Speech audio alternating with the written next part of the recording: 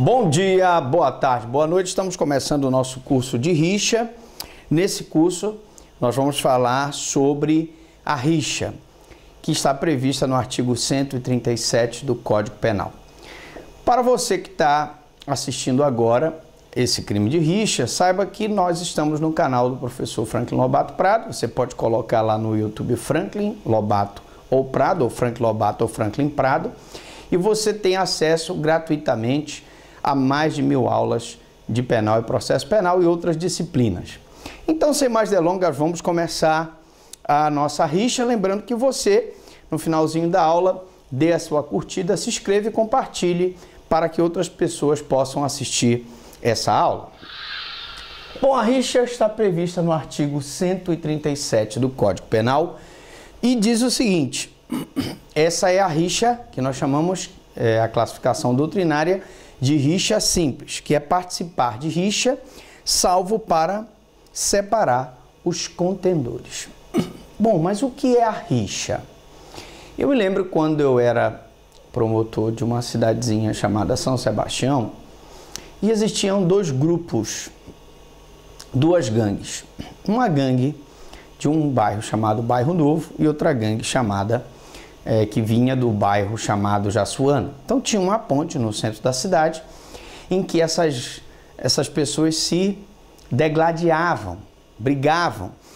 Então havia no linguajar popular uma rixa, e atenção que o nome é rixa, não é rincha como o pessoal diz.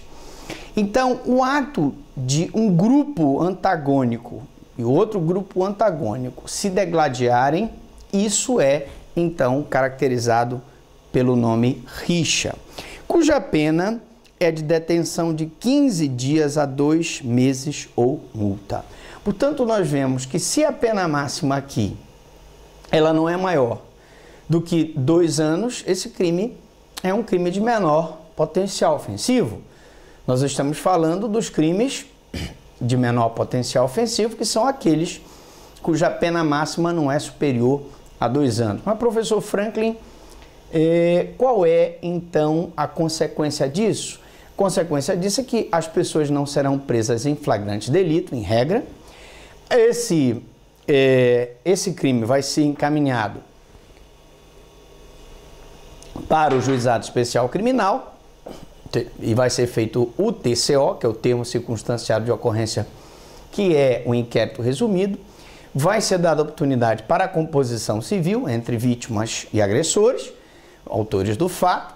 Se não houver a composição civil, vai haver uma proposta de transação penal pelo Ministério Público. E se não houver a transação penal, que é a proposta de aplicação de pena não privativa de liberdade, nós teremos então uma proposta uma denúncia oral e, e o processo seguirá no rito sumaríssimo. Bom, mas a rixa então é uma luta envolvendo pelo menos três pessoas. Então, o primeiro esclarecimento que eu, que eu dou aqui, você não pode tipificar rixa se não tiver pelo menos três pessoas. Tiverem duas pessoas, não é rixa. A partir de 3, 4, 5, 6, 10, 20, a rixa. Então, primeira pergunta, professor Franklin, eu posso caracterizar rixa sem que haja pelo menos três pessoas? Não. Primeiro ponto da tipicidade. É, se caracteriza pelo tumulto, pela confusão, de tal forma que se não se consegue distinguir a conduta de cada participante. Muitas pessoas é, questionam a rixa, porque justamente a rixa eu não posso individualizar a conduta do agente. Ora, se eu não posso individualizar a conduta do agente, eu não posso e não devo é, enquadrá-lo num tipo penal. Porque para que ele seja enquadrado no tipo penal, a doutrina e a jurisprudência diz que eu tenho que individualizar a conduta. O que é individualizar a conduta? É dizer o que ele fez. Se ele estava com a arma, se ele estava com a faca, se ele estava com um pau. Qual foi a conduta dele? Ele bateu com um pau, ele esfaqueou, ele jogou pedra? Eu preciso saber. Em regra, eu preciso saber do que ele fez. Aqui na rixa, por estar tipificado que não, não preciso saber se ele realmente praticou a conduta típica ou não. De qualquer forma, eu estou então diante de um crime em que, mesmo eu não podendo classificar a conduta típica, eu vou então classificá-lo como rixa, porque é o que não consigo, pela, pelo tumulto, pela confusão entre os agressores, eu não consigo individualizar a conduta. Só é possível individualizar a conduta de cada rixoso, não há de de se que se eu tiver como caracterizar essa conduta, se eu tiver como dizer que o fulano pegou a faca, o outro pegou um, uma pedra, o outro pegou o pau, não se trata de crime de rixa. Aí eu vou dizer, fulano pegou o pau, bateu no outro, então eu tenho como dizer que ele praticou uma lesão corporal. Você entendeu? Então a rixa é subsidiária. Se eu consigo individualizar a conduta e dizer que a pessoa praticou a lesão corporal ou homicídio, eu não posso, que se falar em rixa. O agente que praticou a lesão corporal durante a rixa responde pela lesão corporal, desde que eu possa individualizar essa conduta. O agente que praticou o homicídio responde pelo homicídio. Mas, professor, ele não responderia em concurso com a rixa e o homicídio? Não. Ele não responderia em concurso com a rixa e o homicídio. Ele responderia apenas pela lesão corporal e pelo homicídio. Porque como a rixa é subsidiária, em regra eu não vou ter o concurso entre as duas condutas, se eu puder individualizar a conduta. Mas eu posso ter essa esse concurso? Posso, que nós vamos ver daqui a pouco para você tirar essa dúvida. Sujeito, classificação e número mínimo de envolvidos. Bom, para terminar esse bloco, eu vou falar dos sujeitos, da classificação doutrinária da rixa e também do número mínimo.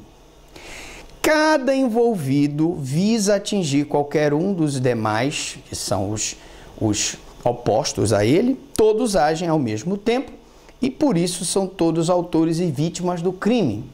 Eu tenho aqui um único crime no Código Penal, que provavelmente será objeto da reforma que tramita no Senado Federal da reforma do Código Penal, em que, ao mesmo tempo, o agente é sujeito ativo e sujeito passivo. Olha que interessante. Ao mesmo tempo, ele é a pessoa que agride o bem jurídico e, ao mesmo tempo, ele tem o bem jurídico dele agredido. Razão pela qual eu tenho uma situação esdrúxula no direito penal em que, por exceção, eu tenho um crime em que o mesmo sujeito ativo é o mesmo sujeito passivo. E quem são eles, professor Franklin? São as pessoas que participam da rixa.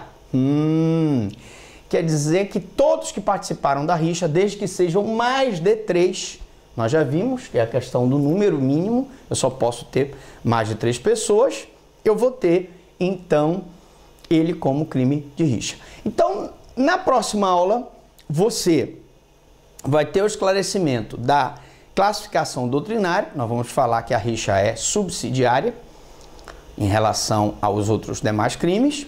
Vamos voltar essa questão do número mínimo e não se esqueça, numa pergunta de prova, numa pergunta de ENAD, numa pergunta de concurso público, a rixa é um dos poucos crimes em que existe a possibilidade da pessoa ser ao mesmo tempo sujeito ativo, sujeito passivo.